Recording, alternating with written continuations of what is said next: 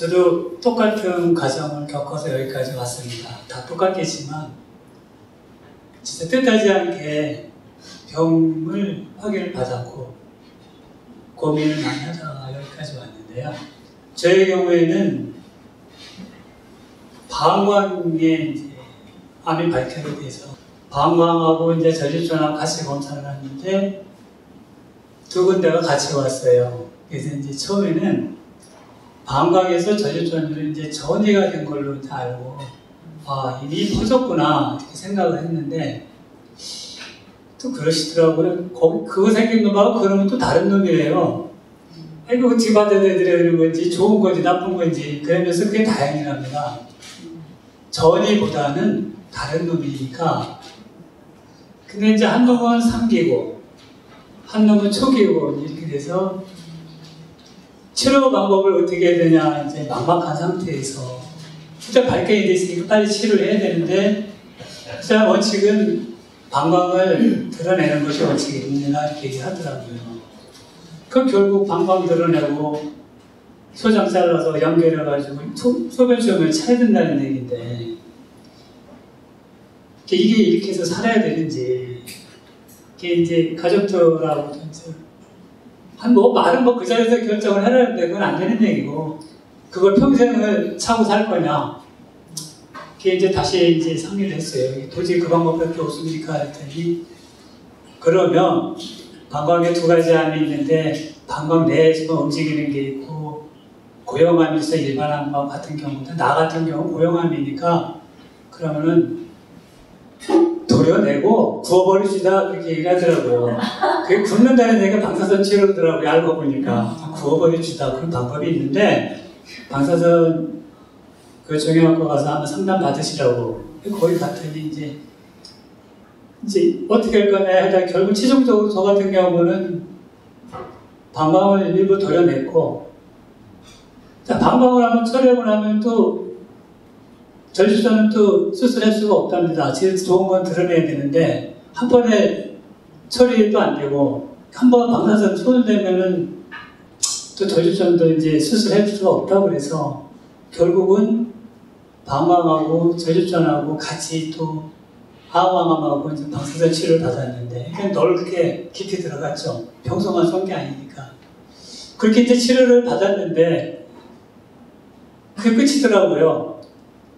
이게 답답한 게 뭐냐면은 아니 그 치료가 끝났으면 뭔가 어떻게 사후관리 어떻게 되는지가 제일 궁금한데 그냥 물어보면은 그렇죠. 지금 생각해봐도 그 항암제보다 더 좋은 약은 없으니까 지어줄 약도 없는 거고 어떻게 뭘 먹거나 챙겨 먹거나 뭘 가려야 됩니까? 그럼 그냥 잘 먹으시면 됩니다. 뭐든지 잘 드시고 운동 열심히 하세요. 이거, 이거 이밖에 없더라고요. 근데 너무 답답한 거예요. 그러면서 하는 얘기는 또 저 같은 경우는 이미 퍼졌을 확률이 50%, 안 퍼졌을 확률이 50%로 보면 됩니다. 이것도 무슨 얘기지?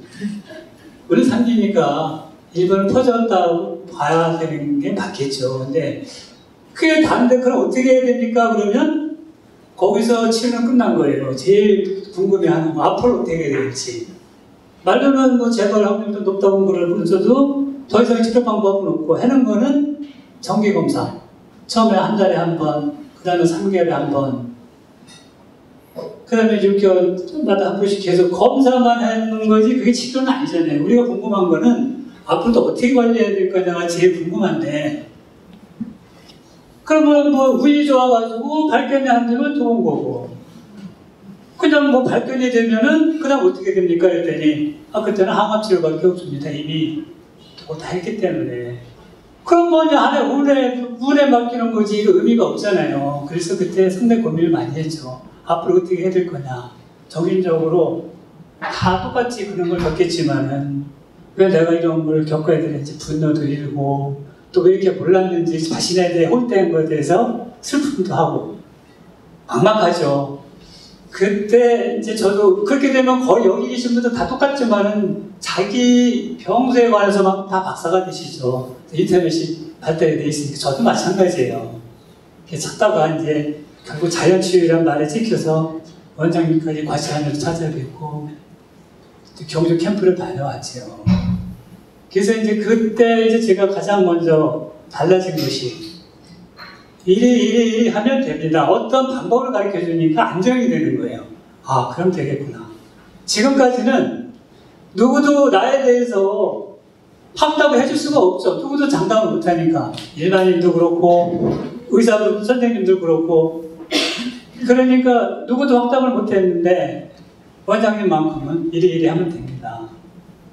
거기에 대해서 이제 마음이 좀 안정이 됐고, 그래서 이제 그때 제시해 준 방법 다 똑같죠. 여기서 처방해 주는 거, 그거 먹으면서 식습관 바꿔라.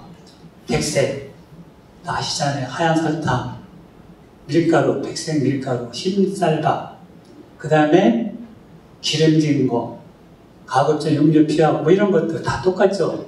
그 위에 이제 하는 것들 그 정도에 따라 다 조금씩 이제 틀릴 텐데 정도에 따라서 그거 할 수 있잖아요. 내가 살 수 있는데 뭐를 못합니까? 그게 이제 그리고 꾸준히 운동을 해라.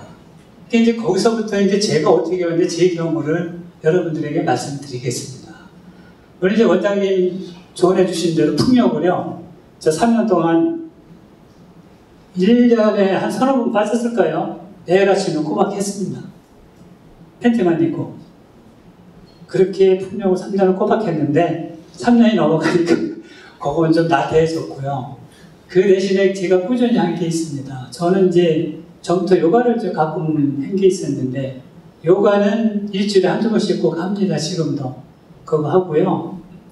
뒤에 그 가까운 산이 있어요. 제집 옆에. 산을 꾸준히 가는데 이제는 산을 가는 거는 좋은데 이게 야외라 다시 영향을 많이 받더라고요. 꾸준히 가다가도 되게 춥거나 바람이 많이 불거나 비가 오거나 안개가 많이 끼고 먼지가 많이 껴서 진짜 도저히 나가기 싫으면 하루로 끝나는 게 아니라 그게 열흘, 20일 쭉 빠지게 되더라고요. 지금도 이제 가능하면 산에를 꼭 가려고 노력을 하는데 제가 하루도 안 빠지고 가는 운동이 또 하나가 있습니다. 저는 이제 원래 이러기 전에도 직장 다닐 때 취미로 어 이제 풍물 장구도 쳐보고 큰 북도 쳐보고 뭐 다른 이제 관심이 있었는데 지금은요 사격 댄스를 하거든요. 우리가 말하는 콜라떼기 있죠. 다른 거다 그만두고 거기를 다니니까 거기는 1년 360일 쉬지를 않아요. 겨울이면 따뜻하게 해주죠. 여름에는 시원하게 해주죠. 들어가면 음악이 있죠. 또 이 나이에 이성하고 손잡고 춤을 추죠. 잠잠이 하나도 없어져요. 그냥 점심 먹고 가면은 오후는 잠잠이 하나도 없어요. 근데 돌아보면은 즐겁게 운동요 1시간, 2시간 음악에 맞춰서 뛰어보세요. 얼마나 많은 운동이 되는지. 그런데요, 또 하나 좋은 거는 무리가 안 돼요. 나이에 맞게 추면 돼요. 내가 그 몸에 맞게. 저보다 더 비슷하게 아픈 사람들도 운동 많이 하고 있더라고요. 그래서 제가 제일 꾸준히 하는 운동은 이제 사계 댄스고 또 하나씩 한 게 있어요. 시간 나는 대로 글을 좀 씁니다. 그래서 일주일에 한 번씩 글 쓰는 사람들끼리 모임을 갖는데 또 그게 일주일 동안 기다려지는 모임입니다. 거기 가서 그분들하고 만나서 또 소통하고 그래서 제가 돌이켜보면은 운동을 꾸준히 하면서 놓지 않은 거는 물론 풍욕도 있었지만 등산도 있었지만 저와 같은 경우에는 춤을 추면서 즐겁게 지내다 보니까 여기 집착을 말고 내 머릿속에 떨어버려야 되는데 그게 가장 좋아갖고 지금도 거기만 가면 한, 한나절이 그냥 갑니다. 즐겁게. 그리고 또 하나는 제가 글을 쓰면서 돌아보면서 제 아주 어렸을 때부터 지금까지 아팠던 거 즐거웠던 거 다 써봤어요. 마음이 가벼워지더라고요. 억지로 뭐 이렇게 명상에서 뭐 털어놓는다 그러면 자꾸 집착이 가는데 저는 그런 과정을 통해서 제 마음을 많이 비웠어요.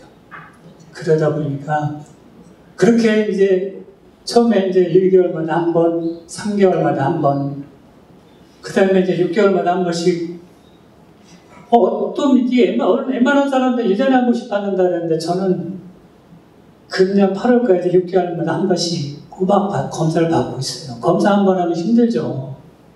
전신 제형제 맞고 확인하고 또 1년에 한 번 전신 뜯어사진 찍어야죠. 또 그냥 그거 힘들게 넣어서 반반 내시경 해야죠. 그 6개월만에 한 번씩 지금도 하고 있어요. 그런데 이번 8월에 제가 5년째 마쳤습니다. 그래서 지금부터는 1년에 한 번 합니다. 저는 그렇게 극복을 했습니다. 여러분들도 여기서 이제 해주시는 거 표현을 하시되 그 위에 내가 할- 즐겁게 할 수 있는 거, 그 저는 그러고 나서 제2의 인생을 얻었다고 생각을 해요. 제 평생 진짜 그냥 돈 벌어서 먹고 살라고 했지. 지금까지 살아본 적이 없어요. 여러분들도 조금 마찬가지고 꼭 이겨냅시다. 그 다음에 이제 즐거움입니다. 우리 강 선생님 사교 댄스, 네, 정말 추천드립니다. 네, 강추입니다, 강추. 그리고 그 속에서 즐거움입니다. 그래서 운동도 즐겁게, 자기가 정말 즐겁게 할 수 있는 거, 예, 라인 댄스 여자분들한테 강추고요. 예, 뭐, 남자분들한테는 이 사교 댄스 아주 좋습니다. 예, 아름다운 여자분들 손도 잡고, 그래서 어, 또 즐거움을 가지고 또 즐겁게 살아나가시면 좋겠고요. 그 우리 강 선생님도 그 시인이지 않습니까? 네, 그 쓰면서 이 속에서 자기 감동을 찾거든요.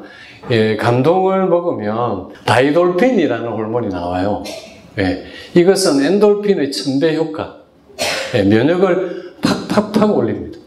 예, 그래서 항상 감동 있는 삶을 사시고요. 저희가 여기에 이제 어, 문화센터를 만들었습니다. 그 음악 치료, 미술 치료를 해요. 야, 미술 치료하면서 감동을 먹고 음악 치료 노래 부르면서 다들 제가 저기 영상 찍어놓은 거 보니까 어 다들 감동이에요. 노래 부르면서 합창하면서 네.